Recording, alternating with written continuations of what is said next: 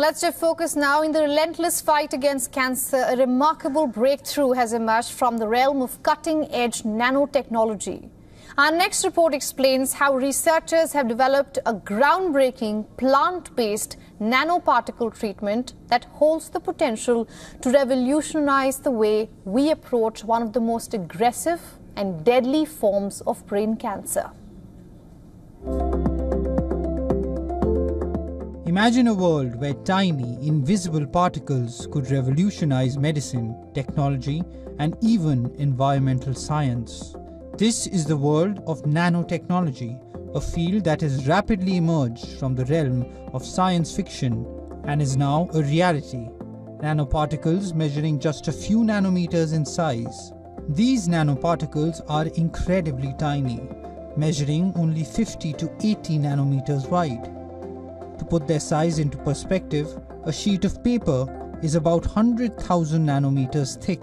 These particles are so small they can move through the body with precision, reaching areas that conventional drugs cannot.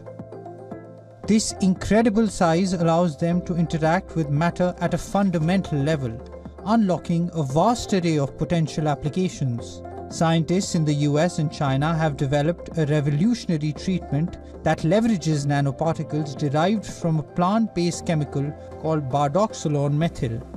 What makes these nanoparticles extraordinary is their ability to cross the blood-brain barrier, a nearly impenetrable shield that protects the brain but also keeps most medications out.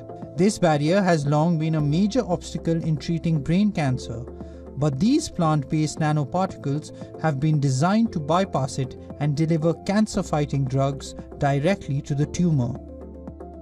Beyond medicine, nanoparticles are also finding applications in technology and environmental science. In electronics, nanoparticles can be used to create smaller, faster, and more energy efficient devices. In environmental remediation, nanoparticles can be used to clean up pollution and contaminants. Bureau Report WION World is One. For all the latest news, download the WION app and subscribe to our YouTube channel.